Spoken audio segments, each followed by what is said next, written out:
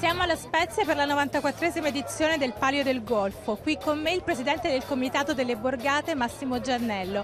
Allora Massimo, quest'anno c'è un grandissimo entusiasmo. Sì, eh, l'entusiasmo c'è sempre, quest'anno in modo particolare perché è una, un anno dove c'è molta incertezza su chi vince. Ma raccontami, in che cosa consiste questo palio? È una gara fatta tra le 13 borgate che si affacciano sul Golfo di Spezia, che si sfidano la prima domenica d'agosto per poter primeggiare eh, sulle altre.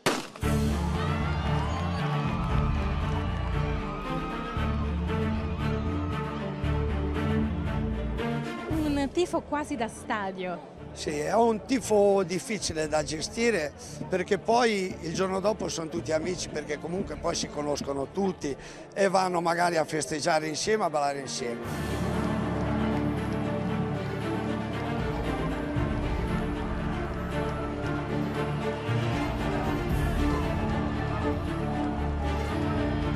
Ma una volta che l'imbarcazione è arrivata prima, ha vinto? No, no, assolutamente no.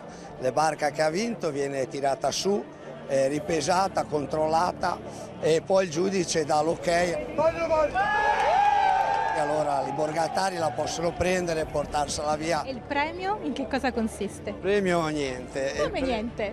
Il premio è un pezzo di stoffa, noi diciamo, è il paglio che eh, le borgate che vincono custodiscono molto gelosamente nella propria sede fino al venerdì prima della gara dove viene riconsegnato con una cerimonia al eh, sindaco che lo tiene tre giorni nella sala comunale per poi la domenica ridarlo a chi vince.